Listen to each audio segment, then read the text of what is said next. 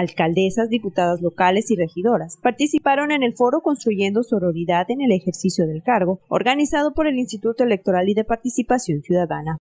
Les damos una cálida y cordial bienvenida a este foro que hemos denominado Construyendo Sororidad en el ejercicio del cargo.